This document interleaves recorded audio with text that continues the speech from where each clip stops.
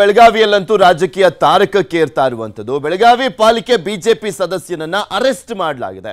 ಟಿಳಕವಾಡಿ ಪೊಲೀಸರಿಂದ ಅಭಿಜಿತ್ ಜವಳಕರ್ ಬಂಧನ ಮಾಡಲಾಗಿದೆ.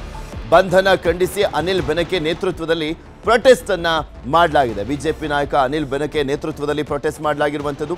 ಗಲಾಟೆ ಕೇಸ್ನಲ್ಲಿ ಅಭಿಜಿತ್ ಜವಳ್ಕರ್ನನ್ನ ಬಂಧಿಸಲಾಗಿದೆಯಂತೆ.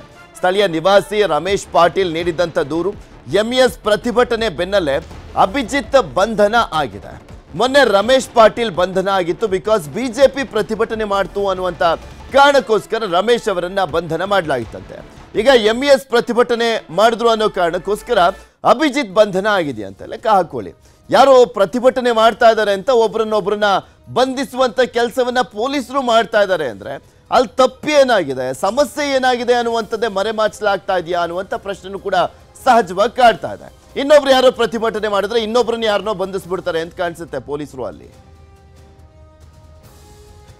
ಇದ್ರ ಬಗ್ಗೆ ಇನ್ನಷ್ಟು ಮಾಹಿತಿಯನ್ನು ಕೊಡ್ತಾ ಹೋಗ್ತಾರೆ ನಮ್ಮ ಪ್ರತಿನಿಧಿ ಚಂದ್ರಕಾಂತ್ ಸುಗಂಧಿ ನಮ್ಮ ಜೊತೆ ನೇರ ಸಂಪರ್ಕದಲ್ಲಿ ಜಾಯಿನ್ ಆಗ್ತಾ ಇದಾರೆ ಗುಡ್ ಮಾರ್ನಿಂಗ್ ಚಂದ್ರಕಾಂತ್ ಸುಗಂಧಿ. ಇಲ್ಲಿ ಪ್ರತಿಭಟನೆ ಮಾಡ್ತಾರೆ ಅನ್ನುವ ಕಾರಣಕ್ಕೋಸ್ಕರ ಬಂಧಿಸ್ತಾ ಇದ್ದಾರೆ ಅಂದ್ರೆ ಏನ್ ಅರ್ಥ ಅಂತ. ಇನ್ನೊಬ್ರು ಯಾರೋ ಬಂದು ಪ್ರತಿಭಟನೆ ಮಾಡ್ತಾರೆ, ಅವ್ರನ್ನ ಬಂಧಿಸಿ ಅಂತ. ಹಾಗಾದ್ರೆ ಅವ್ರನ್ನು ಕೂಡ ಬಂಧಿಸುವಂತ ಕೆಲಸ ಆಗುತ್ತೆ ಅಂತ ಕಾಣಿಸುತ್ತೆ.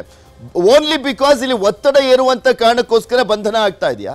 ಪೃಥ್ವಿರಾಜ್ ಬೆಳಗಾವಿ ದಕ್ಷಿಣ ಮತಕ್ಷೇತ್ರದಲ್ಲಿ ರಾಜಕೀಯ ತಾರಕಕ್ಕೆ ಕೇಳಿರ್ತಕ್ಕಂಥದ್ದು. ಪ್ರತಿ ದಿನವೂ ಕೂಡ ಒಂದಲ್ಲ ಒಂದು ವಿಷಯಕ್ಕೆ ಅಲ್ಲಿ ಕಾಂಗ್ರೆಸ್ ಮತ್ತು ಎಂ ಎಸ್ ನಡುವೆ ಒಂದು ಫೈಟ್ ನಡೀತಾ ಇದೆ. ಇದು ಕೂಡ ಅದರ ಒಂದು ಭಾಗವಾಗಿ ಆಗಿರ್ತಕ್ಕಂಥದ್ದು. ಅಭಿಜಿತ್ ಪಾಟೀಲ್ ವಾರ್ಡ್ ನಂಬರ್ ನಲವತ್ತೆರಡರ ಬಿಜೆಪಿ ಮಹಾನಗರ ಸದ, ಮಹಾನಗರ ಪಾಲಿಕೆ ಸದಸ್ಯ ಹಾಗೂ ಅಲ್ಲಿಯ ನಿವಾಸಿ ರಮೇಶ್ ಪಾಟೀಲ್ ನಡುವೆ ಇತ್ತೀಚೆಗೆ ಟವರ್ ವಿಚಾರಕ್ಕೆ, ಟವರ್ ಸ್ಥಾಪನೆ ವಿಚಾರಕ್ಕೆ ಒಂದು ಗಲಾಟೆ ಆಗಿತ್ತು. ಈ ಗಲಾಟೆ ಈಗ ತೀವ್ರ ರಾಜಕೀಯ ಸ್ವರೂಪವನ್ನು ಪಡೆದುಕೊಂಡಿದೆ. ಏನು, ಮೊದಲು ರಮೇಶ್ ಪಾಟೀಲ್ ಅವರನ್ನ ಬಂಧನ ಮಾಡಬೇಕು ಅಂತೇಳಿ ಟಿಳಕವಾಡಿ ಪೊಲೀಸ್ ಠಾಣೆ ಮುಂದೆ ಬಿಜೆಪಿ ಮಹಾನಗರ ಪಾಲಿಕೆ ಸದಸ್ಯರು ಮತ್ತು ಮುಖಂಡರು ಪ್ರತಿಭಟನೆ ಮಾಡ್ತಾರೆ. ಅದರ ಅನ್ವಯ ರಮೇಶ್ ಪಾಟೀಲ್ ಅವರನ್ನ ಬಂಧಿಸಿ ಜೈಲಿಗೆ ಕಳಿಸಿರ್ತಕ್ಕಂಥದ್ದು. ನಿನ್ನೆ ದಿಢೀರ್ನೆ ಎಂ ಎಸ್ ಕಾರ್ಯಕರ್ತರು ಕೂಡ ನೂರಾರು ಸಂಖ್ಯೆಯಲ್ಲಿ ಟಿಳಕ್ವಾಡಿ ಪೊಲೀಸ್ ಠಾಣೆಗೆ ಮುತ್ತಿಗೆ ಹಾಕ್ತಾರೆ. ರಾತ್ರೋರಾತ್ರಿ ಇವತ್ತು ನಿನ್ನೆ ಏನು ಅಭಿಜಿತ್ ಜವಳ್ಕರ್ ಮಹಾನಗರ ಪಾಲಿಕೆ ಸದಸ್ಯರನ್ನ ಬಂಧಿಸಿರ್ತಕ್ಕಂಥದ್ದು. ಈತ ಏನು ಚಿಕಿತ್ಸೆಯನ್ನ ಪಡಿತಾ ಇದ್ರು ಆಸ್ಪತ್ರೆಯಲ್ಲಿ. ಆಸ್ಪತ್ರೆಯಿಂದನೇ ಏನು ಪೊಲೀಸರು ಕರೆದುಕೊಂಡು ಹೋಗಿದ್ದಾರೆ. ಆಸ್ಪತ್ರೆ ಬಿಲ್ ಕೂಡ ಇನ್ನೂ ಕಟ್ಟಿಲ್ಲ ಅಂತೇಳಿ ಅವ್ರ ಕುಟುಂಬಸ್ಥರು ಆರೋಪವನ್ನ ಮಾಡ್ತಾ ಇದ್ದಾರೆ. ನಿನ್ನೆ ಏನು ತಡರಾತ್ರಿ ಹೈ ಡ್ರಾಮಾ ನಡೆದಿರ್ತಕ್ಕಂಥದ್ದು. ಏನು